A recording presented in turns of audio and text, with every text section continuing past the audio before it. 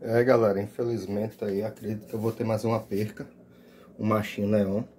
Como ele tá, tá respirando ainda, mas tá bem machucado, ele tava com veludo. Né? Passei ele aqui pro copinho, diminui a parede, como tá a, barriga dele.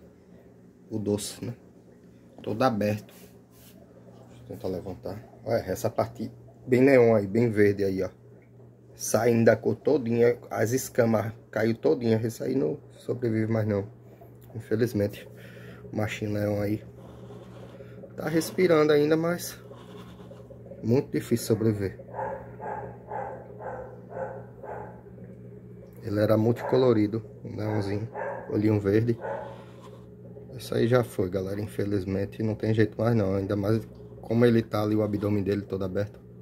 Sem escama. Infelizmente é assim. Acredito que foi veludo. Tá dando cabeça para baixo. Ele tenta ainda, lutando ainda pela vida. Mas aqui eu não posso interferir, né? Não tem mais o que fazer. Aqui já tá com remédio. Ele já estava em tratamento há alguns dias. Infelizmente alguns peixes meus aqui já estavam né, em tratamento. Aí vai ocorrendo as percas, né? E eu vou mostrando, né? A maioria dos criadores aí não mostram perca. Mas eu registro tudo. Né? Quero registrar os últimos momentos. Ter recordação dos meus peixinhos. Agora, e até para estudar, né? O caso, o que foi que poderia ter feito, melhorado. Olha só. Era bem bonitinho ele, velho. Bem multicolorido. Infelizmente tá assim. É uma pena.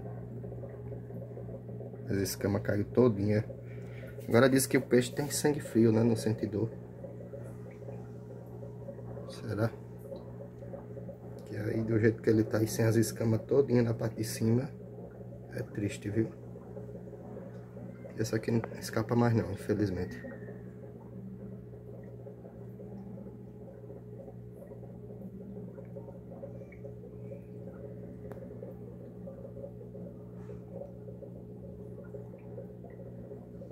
Assim mesmo, galera.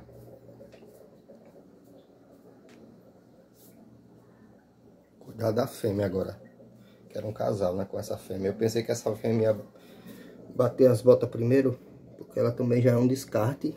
Na verdade, eu até ganhei esse casal. São de linhagem, são neomas. Não é neon puro, é muito colorido. Multicolor. Não sei porque eu falo multicolorido. Infelizmente,